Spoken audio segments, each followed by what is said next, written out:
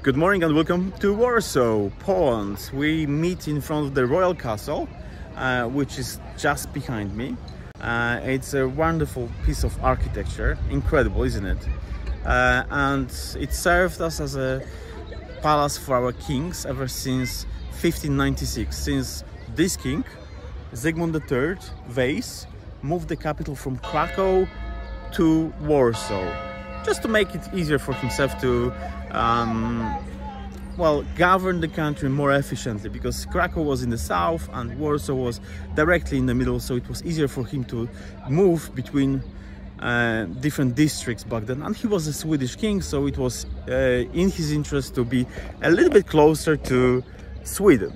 And well that that was practical for practical reasons and uh, after after him we kept it this way because it made really sense.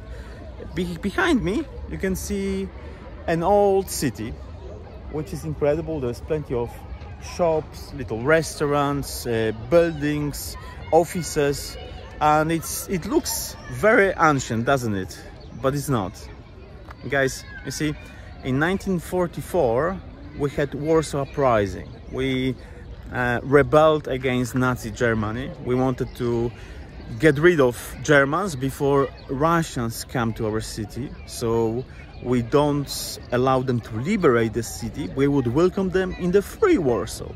But uh, somehow Stalin came up with the idea that, um, well, he will actually wait with his army on the other bank of the Vistula River and he will allow the uprising to be put down by the Nazi German, by Wehrmacht. So for 63 days, despite of the brave resistance of um, Polish Liberation Army, um, the uh, Warsaw Uprising actually was put down.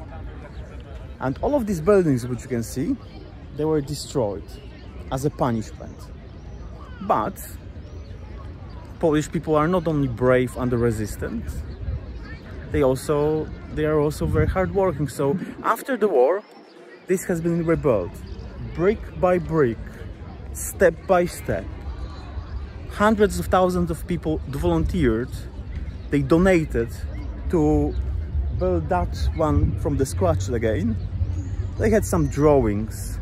They didn't have a, even architecture planning of the place, but they had some drawings. So they've used these drawings to bring old city back. So future generations will be able to associate themselves with our long history and our long tradition. And that is also the reason why this brave city of Warsaw is supporting so much Ukrainian refugees.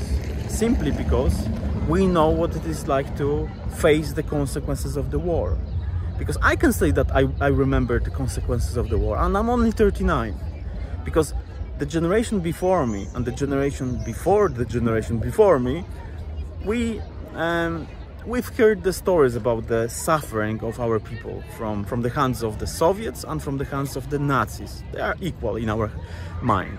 There is no difference between Nazi Germany or communist Russia from, from our perspective. So why? Why do we help Ukraine so much? Because as a child, when I was maybe seven or eight, I visited this place and I've witnessed how uh, volunteers were still fixing the uh, frames in the windows. They were fixing the little uh, armchairs the, uh, in the royal castle. They were re repainting the walls and fixing the bullet holes in this very castle.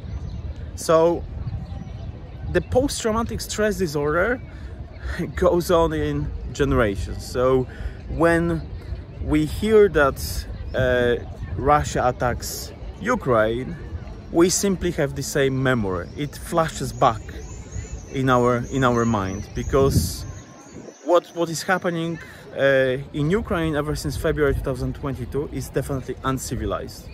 And uh, let's be clear, who is the victim, who is uh, uh, aggressor in this in this war. We we all know that. So, in order to understand the incredible spirit of Polish people and our uh, will willingness to support people who are and countries who are um, subjected to Russian neo-imperialism, you need to come here, to this place, and feel it.